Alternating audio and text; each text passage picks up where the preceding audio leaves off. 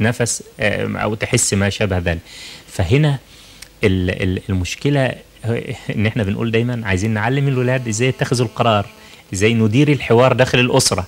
كلام بيتقال على المستوى النظري إنما الممارسة مزعجة مش معانا. هدى طيب ونرجع اتفضل. لنجلاء تاني. اتفضل. السلام عليكم. ورحمة الله وبركاته. أخت هدى.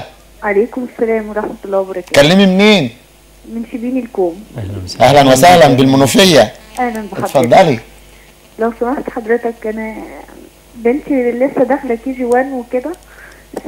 أول يوم راحت المدرسة كانت مبسوطة مع أصحابها و- وفرحانة يعني وحتى كانوا بي بيوروا الأولاد إزاي هي شجاعة وكده.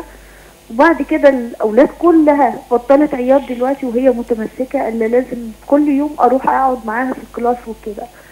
فطبعا مسببة لي مشكلة وهي بقى تعيط جامد و... وتبقى منهارة يعني وكده. هي سنها. كام قلنا؟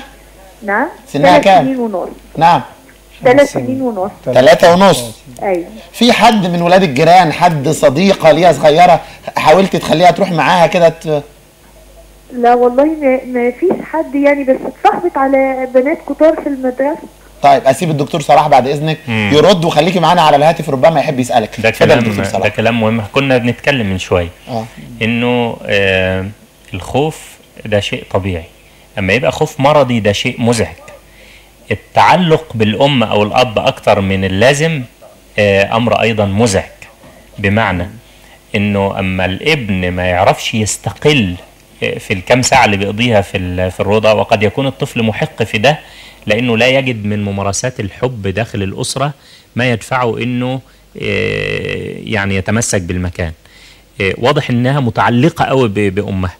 قوي أكتر من اللازم. تعلق آه، لا يسمح إنها تغادر المكان. الامر الآخر إنها في سن حضانة في سن آه، يفترض إن الأم هي بجوار الطفل. إنما دخلت خلاص قربت على الكي جي فمودياها مع جماعة الأقران. هي بتقول إنها عايزاها معاها طول كل الأيام. مش عايزاها تسيبها. دي رسالة لمين؟ رسالة للمربية بقى نفسها اللي هي المدرسة بتاع الروضة. إنها ربما ربما تكون لا تمارس الدور البديل في أثناء غياب الأم أو ما فيش ال- الجو اللي داخل الروضة اللي يسمح إن الطفل يأنس يلعب آه، يستشعر الأنس بالمكان. بيلاقي جو زي ما قلت جو دراسي آه، كل عيل لوحاله. فطبعا في الحالة دي الطفلة هنا بال- بالفراغ إن ال- الإنسانة اللي معلقة بيها آه، هتسيبها وتمشي فلازم تقعد معاها زي سياسة الكتاب زمان. الأب يودي ابنه الابن عايز أبوه في إيده لحد ما يمشي لأنه شايف العصاية وشايف ما يمارس. فأنا ما أعرفش ما يمارس بالرضا اللي بيتم آه، هل هو فعلا في إطار التربوي الصح وكذا. إذا إذا كان آه، بقية العيال كلهم منسجمين والإشكالية عند هذه الطفلة هي تشوف علاقتها بيها ومدى تدليلها ليها. هل زايد قوي ومفرط فخلي مخلي الطفل الطفلة متمسكة بيها قوي ولا هو في حدود المعقول؟ فنبدأ هنا نسأل سؤال آخر مهم. إزاي أبدأ بشكل تدريجي آه، أقعد معاها ربع يوم وبعدين أسيبها؟ وبعدين المرة اللي بعدها أخف؟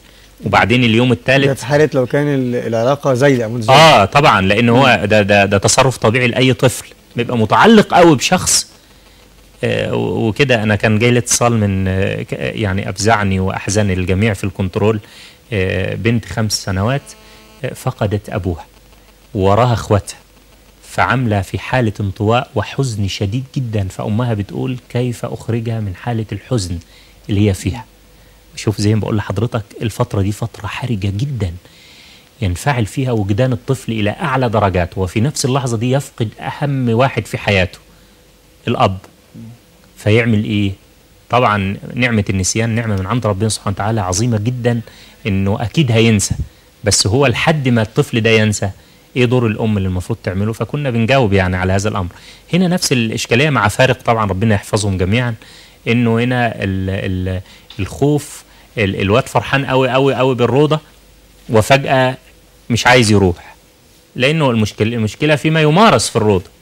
بن بنمارس إيه؟ وبنؤدي إيه؟ وهل أنا كولي أمر بقى أتابع وأروح وأجي وأخد له الألعاب وأخد له ال- الحلويات وأروح أديها له وقاعد أوديها للمدرس ينوب عني في إنه يعطيها له؟ ما هو دور دور المعلمة في الروضة أو أو كده. هو ليس دور ال- الملقن وكده وإنما هو دور المربي. إزاي إنها تبقى تعوض غياب الأم؟ ولن يعوض غياب الأم والأب. على فكرة أي أحد اطلاقا آه، داخل هذا المكان آه، في حال ابتعاد الأب وانعزاله وخصامه للمؤسسة اللي حط ابنه فيها. وبالتالي إحنا بنقول دايما إذا كان عملها مهم وضروري فلازم تراعي وتشوف ما يمارس داخل الروضة. إذا كان مش مهم فالاولى تاخد بنتها عندها. آه، وأنا أذكر واحدة مرة اتصلت بتقول لي إنه أنا ابني عايزاه يحفظ القرآن فأنا وديته للجامع عشان يحفظ فمش عايز يروح فأنا بضربه كل يوم.